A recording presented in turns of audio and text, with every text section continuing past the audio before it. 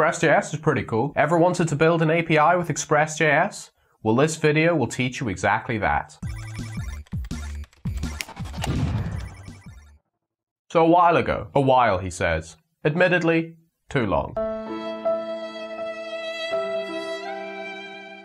Nearly three years ago, I made a video series making a quiz app using AngularJS nearly three years ago, but there was no server involved, and the biggest request I got was how do I build all of this with a server? So this series is going to build an API for that quiz app to consume. Now, if you haven't seen that quiz app tutorial, you don't need to know anything about it. If you want to see a written version of this tutorial, there is a link in the description where I do a full crazy big write-up of all of these videos. But with that, let's jump in and build this API. In front of us, we see the terminal. So we'll just create a new directory and we'll call it Express Quiz API.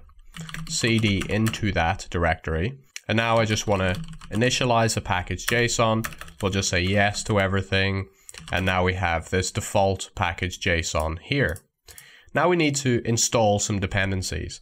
So obviously we're going to need to install Express because that is what we're going to use to create the server. But I'm also going to require in another library called NodeMon. And NodeMon is a tool that we can use as a developer that just speeds up our workflow a little. So usually if we weren't using NodeMon, we would run the server by using just default node. So we would run node index.js, for example, and that would spin up the server, all fine and good. But now what happens if we were to change the contents of index.js, we add some lines of code to our server. Node has no idea that we've made that change, and the old version of the server is running, which isn't ideal, and that would mean that for us to reflect those new changes, we'd have to kill the server and then restart it manually. And that can take up a lot of time if we're doing that constantly throughout our development workflow. So instead, we use a tool called NodeMon, and the server will run exactly the same as before, but this time, NodeMon is listening to the files. So if we make any changes to the code in our server, NodeMon will automatically reload the server for us. So the new version is reflected and the new version of the code is always the version that's running. So that just speeds up our workflow by not having to constantly kill and restart the server. So let's now install those. So I'll use yarn to add express and nodemon. So all yarn is, is just like npm. It's personal preference whether you use yarn or npm. Feel free to use npm. I just prefer yarn. So there we go. We've now installed that. So now we can uh, open up the package JSON and I'm just going to add in a little script here which is just a start script that will run um, nodemon. So we'll just say nodemon index.js. Add a comma there. So now we can run yarn start and it would run that nodemon. But of course we don't have the index.js yet, so let's create that index.js. So now we need to scaffold out the base of our Express app. So we'll do that initially by requiring express. We can do it like that. And then we can instantiate our application. So we'll say app. And to do that, all we need to do is run express. And that gives us all of the methods that express exposes to us. So that's things like get and post and listen. And these are all the methods that we need to have a basic server running. That get that I just mentioned, that's what we're going to use first. So this is creating a route in our API that listens for GET requests. So on the internet, using HTTP, we have different forms of requests. So there's GET requests, there's POST requests, PUT requests, delete requests. So that's what HTTP is. HTTP can be thought of as the language of the internet. It's the way that we request and transfer data across the internet. HTTP stands for the Hypertext Transfer Protocol. A protocol is just a set of rules, and hypertext is the pages and the data that exist on the internet. So the Hypertext Transfer Protocol is just a set of rules that determines how we transfer pages and data across the internet. For our purposes, it will be used to retrieve data from our Express app, but it's also used for all sorts of other use cases all over the internet. Things like updating your user information or posting a tweet or deleting a photo from Facebook and things like that. To generalize, There are objects on the internet that you want to interact with, and there's actions that you're allowed to do to those objects. These objects that we speak about are usually represented on the internet as a URL. So here's an example of a URL that's an object that represents a user with a given ID on mywebsite.com. There may be many actions that you can perform on that same object. For example, you could simply fetch that user information, or you could try and update that user information, you could delete the user, or you could even try and create a brand new user, all using that same URL. To represent these different types of actions, or you could think of them as verbs or doing words, we have different types of requests with HTTP. Now we can rebuild those sentences that we saw before using this object and our newfound knowledge of HTTP verbs or actions. So as you can see, when you represent it this way, we can say what we want to do in a way that's very close to an English sentence. So put simply, HTTP is a language that we use to tell the servers what we'd like to do and what object we'd like to do it to. Please, can I delete this user? So what this line of code is doing is it's listening to GET requests. So now we need to tell it where to listen. So we'll listen to the slash route, which is just the base of our API. But we could say slash test. So if you went to wherever our API is located, so myamazingapi.com slash test, you would reach this route. We're just going to listen to slash. So now we need to tell it what to do when a request comes into that route.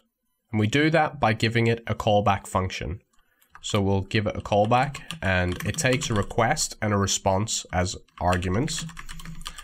And we'll just use the arrow notation here. And then the simple hello world would just be to use the response object and send back hello world. If I could spell it right.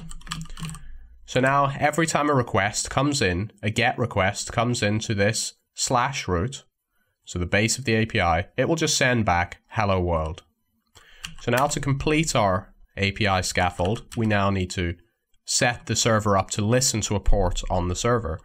So we say app.listen, give it a port number, we'll just say 8080, and the second argument is an optional callback that will just run when the server is set up. So we'll just say app is listening on port 8080. So there we go. That is the base scaffold of an Express app. So if we close out of Vim, so now we'll use that start script that we created earlier in the package JSON and just run yarn start. Of course, you could use npm here as well. npm start would do the same thing. And now we have our nodemon running index.js. App is listening on port 8080. So that's good. So now if we just navigate to the browser, and we go to local localhost 8080 and we get hello world in the browser. So that's good. That's what we wanted. But if we go to another route, for example, like something random, cannot get slash SDF. That's because we haven't told Express what to do if that request comes in. We've only told it what to do for the base route. Everything else, it has no idea to do, what to do, so it'll just error out there. But here we've told it to say hello world.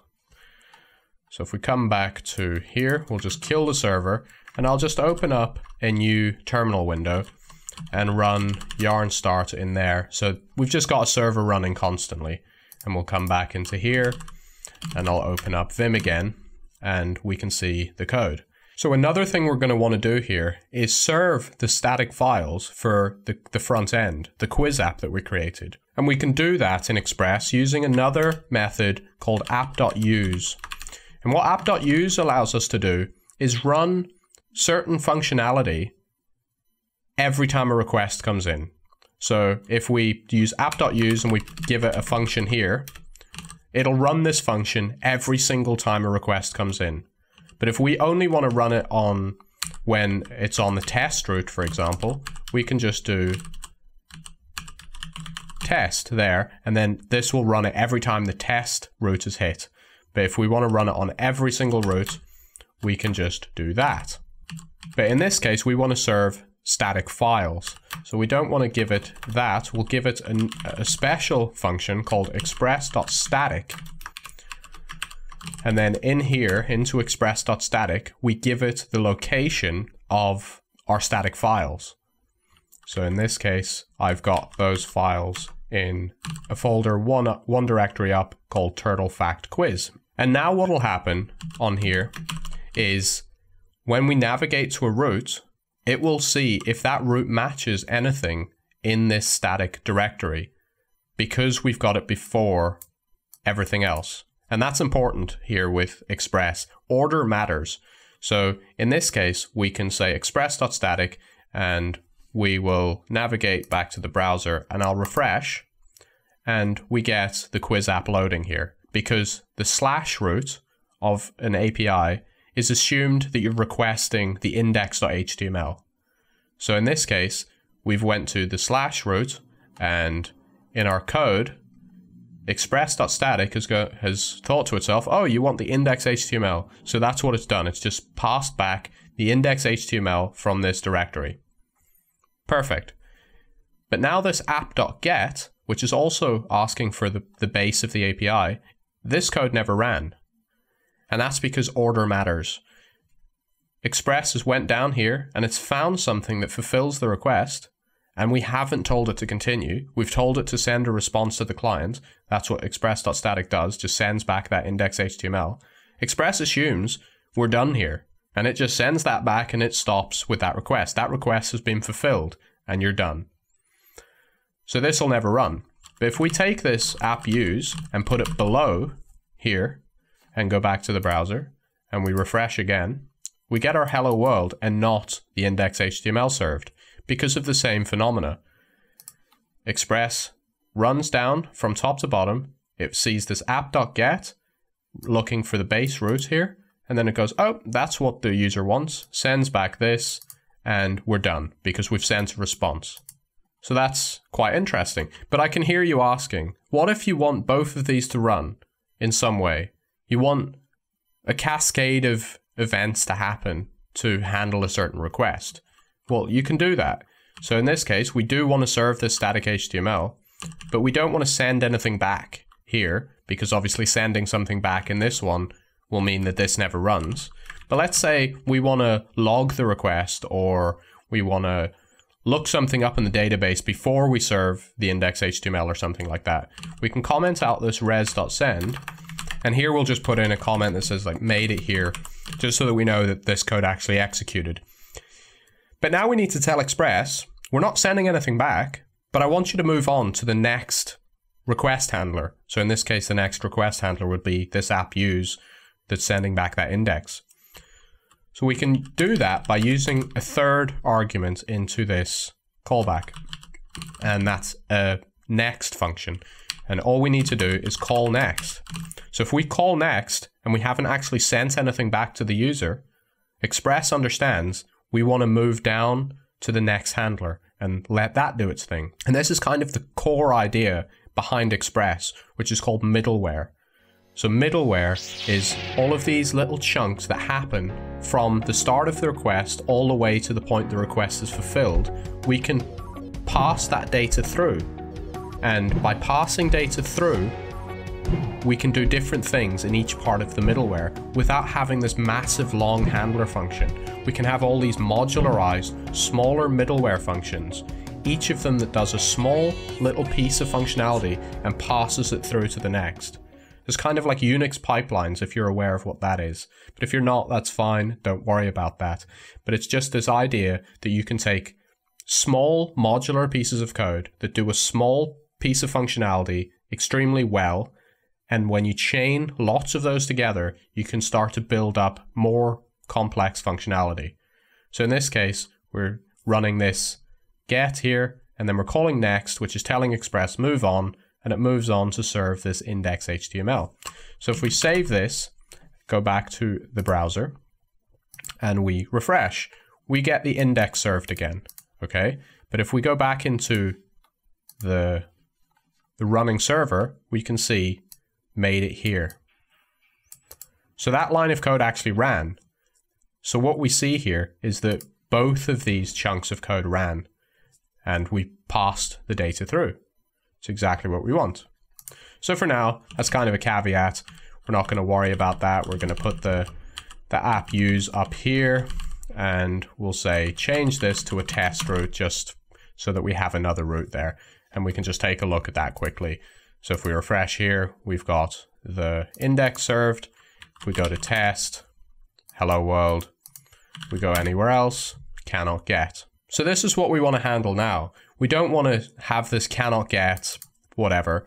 We want to display a better 404 message that we can blanket handle all unknown requests on the server instead of giving this. So we'll go back to our server here. So now we can take the bits of information I've explained so far and sort of bring them together. So I've told you that app.use is a way of running a certain bit of code every time a request comes through. And I've said that the order matters, that it will cascade from top to bottom and as soon as it finds something that fulfills the request, it's done and it won't cascade any further. So now, let's say we get past the static, so there's no static files that match the request, and we get past this test get route, and we're down here. There's nothing else to handle the request here. So that means it must be an unknown request, right? So here we could say app use, and instead of passing a route, we'll just pass it the handler. We'll just say, um, give it the request and response object. And we just want to respond with a, a 404, an unknown request. So we can say response.status is 404 and dot send and we'll just say unknown request quite simple. You can obviously get a lot more elaborate with this, but I hope that you can see the way that the cascading works here. That we're checking if there's any static information, any static documents to send back. If there isn't, then we check if this route matches. And if it doesn't, we go on to here and app use always runs. So if we get this far, this code will always run and we'll just send back a status 404 unknown request. And that works because of the nature of Express, stopping as soon as the request is fulfilled. So if we ever do reach this code, that means that it has to be an unknown request. So now we'll just test that out by coming here, refreshing this. So we got cannot get before, but now we get unknown request. And that'll be a 404 if we check the network tab. So I think that pretty well lays out the basis of what Express is, the way that Express works, and the sort of fundamental ideas that are the cornerstone to building more complex Express apps. So in the next part, we'll start to create the actual routes that we want for our specific quiz API. But if you enjoyed this video, give us a thumbs up, subscribe, hit the little bell to get notifications of my new uploads. If you really like what I'm doing, you can check out my Patreon, but until that next video, stay hungry and keep coding.